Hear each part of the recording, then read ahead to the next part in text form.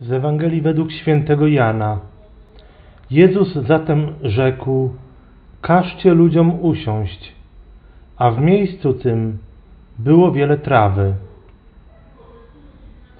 Pan jest moim pasterzem, niczego mi nie braknie. Pozwala mi leżeć na zielonych pastwiskach. Ten psalm aktualizuje się, jakby na nowo odgrywa się na naszych oczach, kiedy czytamy o Jezusie, który na zielonej trawie każe zasiąść tym, dla których jest pasterzem i ich karmi chlebem. Widzimy, jak bardzo życie Jezusa jest realizacją każdego słowa Starego Testamentu.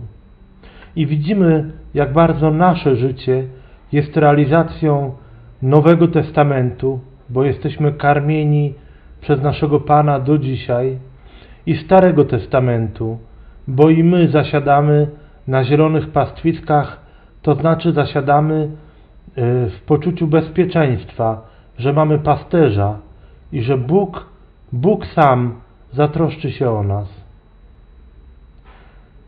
To jest najgłębszy sens naszego życia. Realizacja planu, który zrodził się w Bogu. I widzimy, że ten plan jest bardzo prosty. Nakarmić nas, nasycić nas, dać nam bezpieczeństwo. Bogu niech będą dzięki. Do zobaczenia jutro.